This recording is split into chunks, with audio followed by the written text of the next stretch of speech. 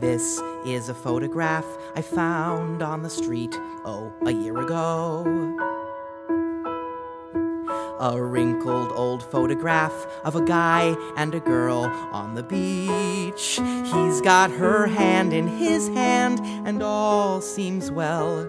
I think they're both smiling, it's hard to tell.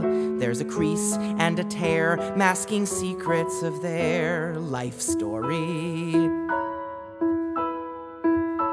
This is an unopened Valentine I found one September.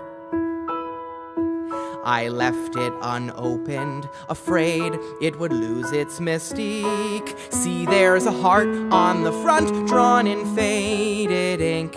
You can't read the name, but it made me think Are these people aware they've lost pieces of their life story? I was walking tonight like I usually walk through those benches outside Union Square. When all of a sudden I tripped over something and look, it was this little book. This book is different from most things I've found for one reason.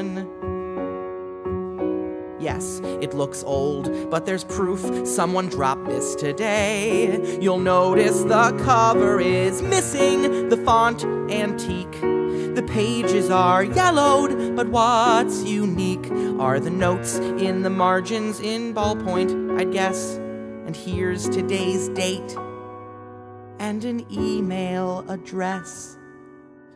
A life story life story, a life story.